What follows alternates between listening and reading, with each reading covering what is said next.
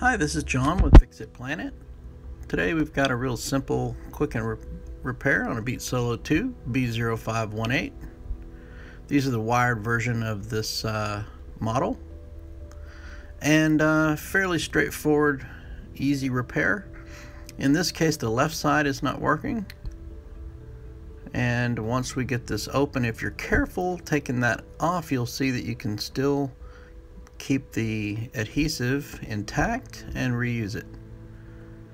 There's just three screws holding this speaker cap on.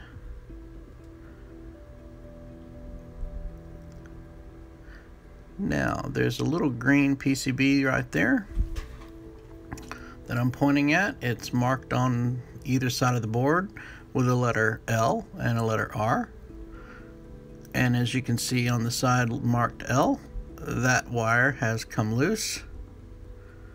And that's why the uh, left side's not working. Pretty obvious.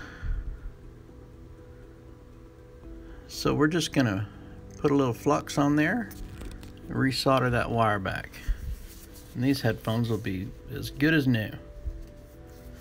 So it's pretty common for uh, pretty much all the Beats models to have pretty crappy soldering and uh, wires that get pinched, um, short out, or solder joints come loose.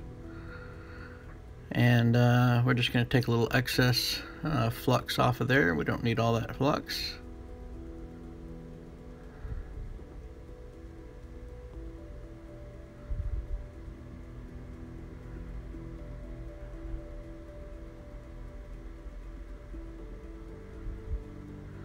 Now we've got a good, good solid solder joint on there.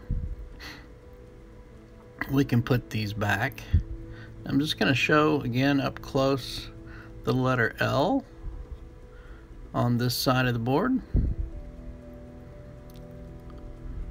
If you can see that. It's marked there and R on this side. So obviously if any one of these wires are loose, either one side or the other won't work. And in this case it was pretty straightforward, simple repair, so very quick fix. Just thought I would upload this for the heck of it. Just line everything back up again, put your screws back,